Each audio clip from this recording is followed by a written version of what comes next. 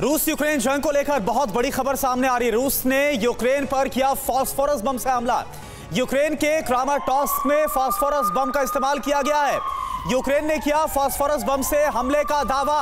तो आप देखिए, केमिकल वेपन से हमले का जो आरोप है, इसके इस्तेमाल को लेकर जो बातें लगातार सामने आ रही थी।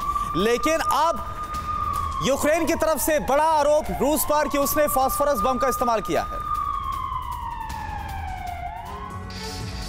लगता है जीत की जिद में रूस वॉर की रूल बुक के सारे नियम, सारे कायदे भूल चुका है। इल्ज़ाम है कि यूक्रेन के खिलाफ युद्ध में रूस फास्फोरस बम का ताबड़तोड़ इस्तेमाल कर रहा है। इस महाघातक बम का सबसे ताज़ा इस्तेमाल रूस ने यूक्रेन के क्रामाटोर्स में किया। यूक्रेन की तरफ़ से इसका वीडियो भी जारी किया गया है। युद्ध में फॉस्फोरस बम के इस्तेमाल पर पाबंदी है, पर आरोप है कि रूस ने करीब एक हफ़्ते पहले डोनबास में भी इसका इस्तेमाल किया था।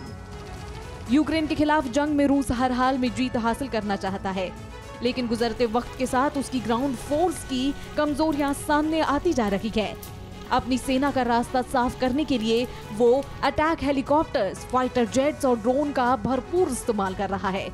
ये तस्वीरें ऐसे ही एक ड्रोन अटैक की है। यहाँ रूसी ड्रोन ने निशाना लगाया और यूक्रेन की एक फायरिंग पोजीशन को ध्वस्त कर दिया।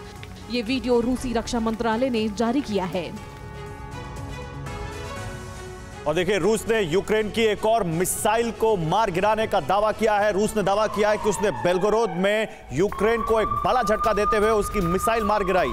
रूस ने दावा किया कि यूक्रेन की टॉश की यू मिसाइल उसने गिरा दी है। रूस की मीडिया के हवाले से खबर आ रही है।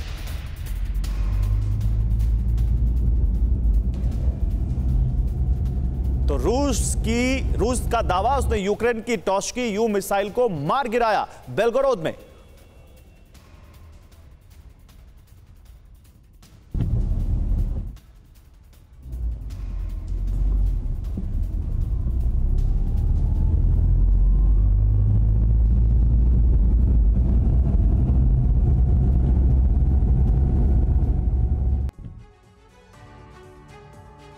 और इस बीच एक और बड़ी खबर रूस यूक्रेन युद्ध में मारियोपोल में तबाही का मंजर नज़र आ रहा है।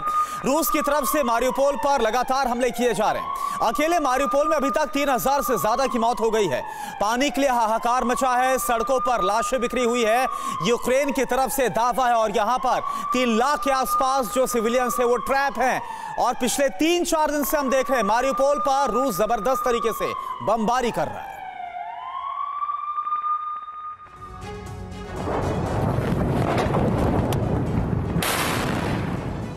मारियोपोल में रूसी सेना ने ज़बरदस्त तबाही मचाई है। शहर में रूसी फौज रुक रुक कर बमबारी कर रही है। बताया जा रहा है, लगभग हर 10 मिनट में एक बम गिराया जा रहा है।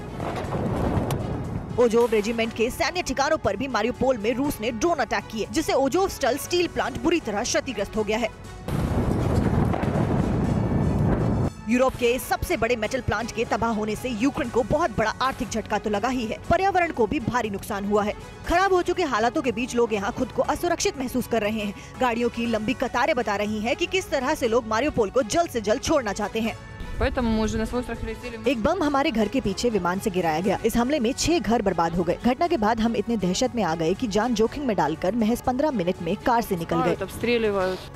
यही वजह है कि मारियोपोल से विस्थापितों की संख्या तेज़ी से बढ़ रही है। दावा है कि तीन हफ़्ते से जारी भीषण बमबारी की वजह से मारियोपोल में अब तक 2500 लोगों की मौत हो चुकी है। परवाह देश की। सोमवार से शुक्रवार रात 10 बजे टीवी 9 भारतवर्ष पर।